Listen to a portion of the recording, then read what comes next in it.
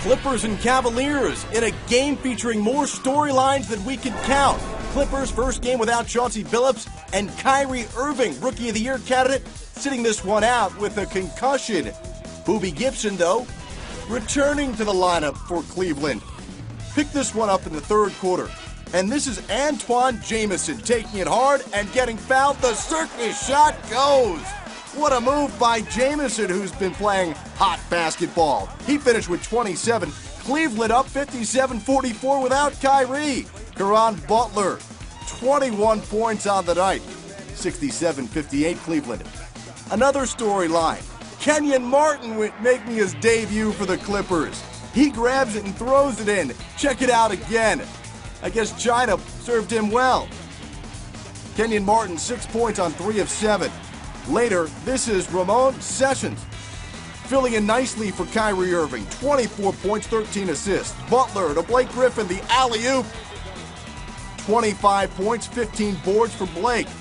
Later, Boobie Gibson from downtown connecting. 90 to 87, Cleveland up by three. 32 seconds to go now. Cleveland still up by three. Varejao spotting up and he hits. 94-89 Cleveland. Mo Williams with an opportunity. No good. Blake is there in traffic, puts it up and in. 25 and 15 for Blake.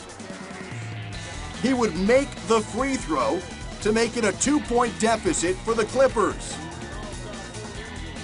Cavs inbounding up by two. Blake Griffin fouls Boobie Gibson. Gibson misses the first, hits the second. And now it's a 95 92 game after hitting this. 16.4 to go in the game. Clippers with a chance to tie. Caron Butler, a look at a three. Spotting up after the pump fake. Back iron, no good. Alonzo Gee grabs it and gets fouled. Cleveland, without Kyrie Irving, comes up with a huge win 99 92. It's Cleveland's 10th straight home win against the Clippers.